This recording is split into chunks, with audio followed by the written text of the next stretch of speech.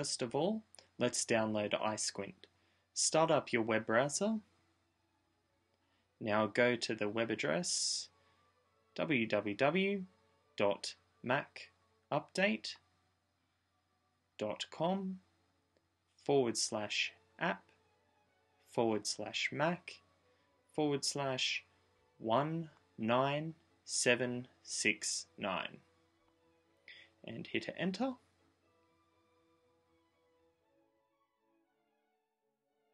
From this page, click on Download Now.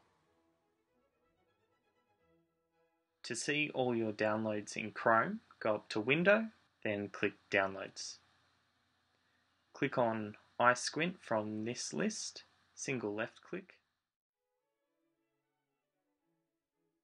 If however you're using Firefox, to see your downloads, go up to Tools, then Downloads, then double click iSquint.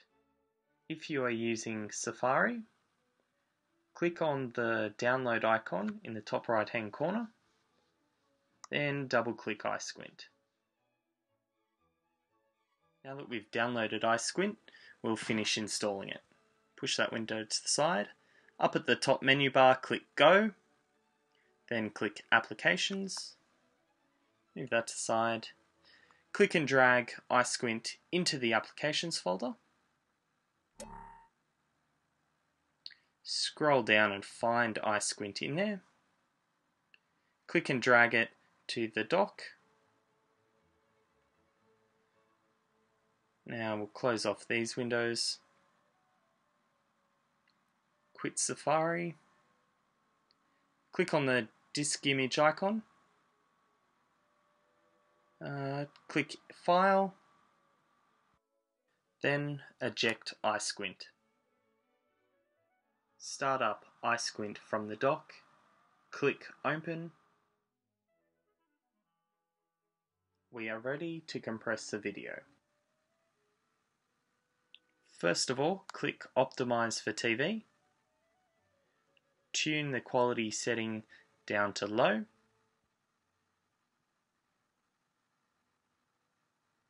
and we'll need to drop videos into iSquint to compress. If we want to compress multiple videos, we can just continue stacking them in the list.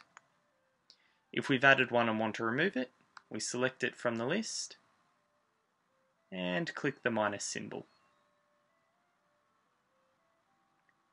Now we need to specify where we want the compressed video to go.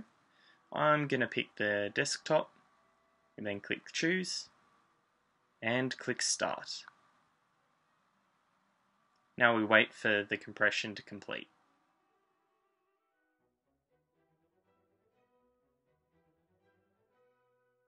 I've compressed this video twice, once using the low quality setting and once using the tiny quality setting. Let's see how it's affected the file sizes. Right clicking on the original video then left clicking get info, I can see the original video was 54.6 megabytes.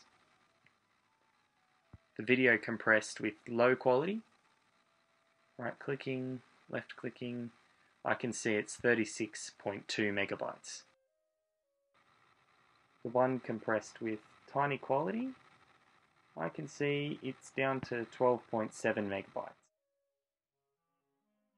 In future, if you need to do more compression, you don't need to download iSquint again. Just start up iSquint from the icon in your dock. If you have any issues or further questions, just contact Parramatta Marist IT.